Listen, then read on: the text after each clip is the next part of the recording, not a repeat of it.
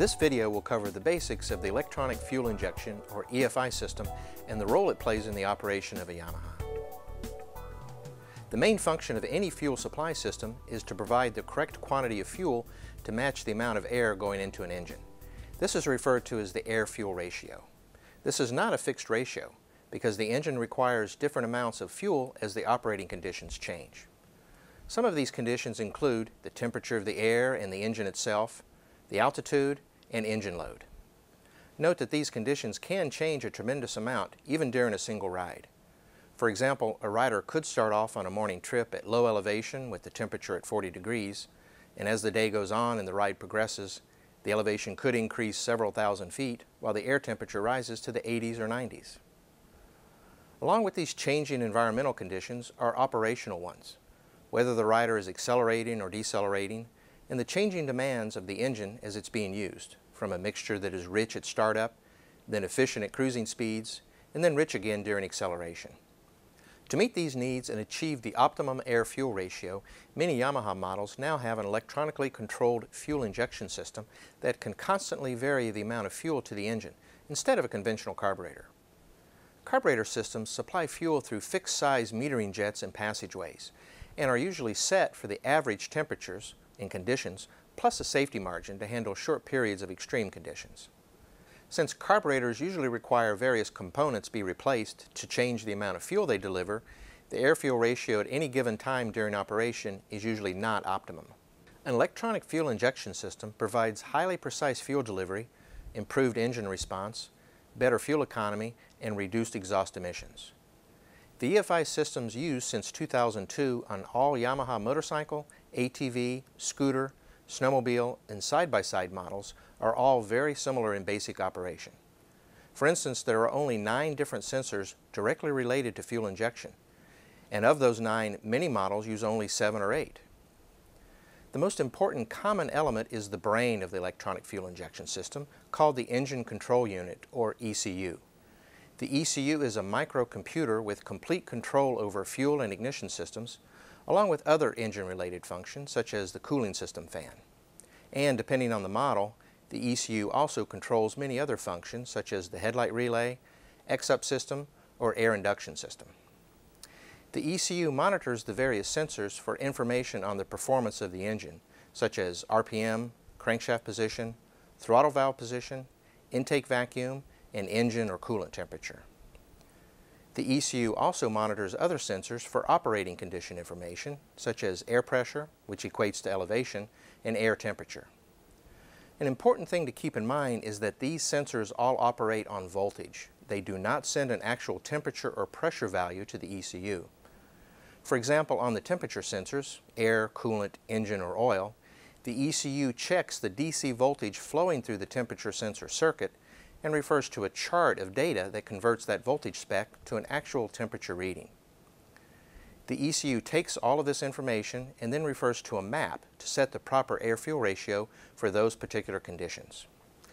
Instead of jets and passageways in a carburetor, models with EFI have fuel injectors, which are basically electrically controlled valves that spray fuel into each intake tract when they're energized by the ECU. The air-fuel ratio is determined by how long the ECU keeps the fuel injector energized.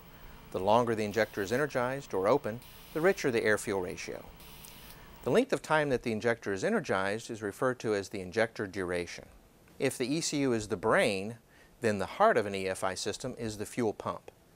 This pump system supplies a consistent fuel pressure to each fuel injector. The real key to proper fuel injection operation is that the fuel pump system is designed to deliver a consistent fuel pressure to the injectors at all times. The specific fuel pressure setting varies from model to model and ranges from 35 psi on the smaller displacement models up to 56 psi on the big V-twins. All fuel pumps are designed to provide more fuel pressure than the engine needs and are equipped with a pressure regulator to set the specific fuel pressure for that model. Some systems have an external pressure regulator, which returns unused fuel from the fuel rail back to the fuel tank. This is referred to as a return type system. While other models use what's called a returnless system, which has the pressure regulator built into the fuel pump itself in which fuel circulates in the tank and the desired fuel pressure is then provided to the fuel injector. When the ECU energizes and opens the fuel injector, the high pressure in the fuel system forces fuel into the intake tract as long as the injector remains open. The fuel is atomized by the extremely small openings in the injector nozzle and is sprayed into the intake tract as a fine mist. To decide the proper air-fuel ratio, the ECU needs to know how much air is going into the engine. This is mainly determined by three primary sensors, the throttle position sensor, or TPS, the crank position sensor, and the intake air pressure sensor. At lower engine speeds and throttle openings, the ECU determines the air volume based on the engine RPM and the atmospheric pressure and engine vacuum readings. At about 15% throttle opening, the ECU switches from using the intake air pressure sensor information and calculates air volume based on engine RPM and throttle plate opening angle. So the TPS, crank position sensor, and intake air pressure sensor and these two calculation methods are used to determine incoming air volume at all engine speeds. With this information, the ECU can then accurately determine the proper amount of fuel to inject into the engine. Now you may have caught a very important point here. The air volume is calculated, not actually measured. There are some fuel injection systems that actually measure the air volume, but most manufacturers today use this type of calculation method on modern fuel injection vehicles. This means air filter maintenance is critical as well as only using approved service and accessory parts on the intake and exhaust systems. If any portion of the intake or exhaust system has some type of failure, not been maintained properly, or has been modified or replaced with non-approved parts, all the calculations the ECU does for air volume could be totally incorrect, and therefore the amount of fuel injected would also be wrong. As you know, the ECU controls the correct amount of fuel for the amount of incoming air by the length of time it keeps the fuel injector energized. The longer the injector is energized or open, the richer the air-fuel ratio. This is referred to as the basic injection duration. The ECU then makes small adjustments or compensations, either slightly increasing or decreasing the amount of time the injector is energized, based on the engine and air temperature, atmospheric pressure, and battery voltage. For example, cold air is more dense and therefore needs more gasoline to maintain the desired air-fuel ratio. So if the air temperature is lower, then the ECU slightly increases injection duration. And as you go higher in elevation, the air becomes less dense and needs less gasoline, so the ECU slightly decreases injection duration. As the unit is operated, the ECU is constantly monitoring the air temperature and atmospheric pressure to adjust the injection duration to maintain the desired air-fuel ratio. All of this calculation results in the final injection duration command to provide the proper air-fuel ratio for all operating conditions. Some Yamaha models now have a narrowband oxygen or O2 sensor that has some effect on the final injection duration in specific conditions. These models are referred to as closed-loop systems, meaning that the O2 sensor sends information back to the ECU on whether the air-fuel ratio is rich or lean. Models without an O2 sensor are called open-loop systems. But be aware at certain times, closed-loop systems actually operate in open-loop mode.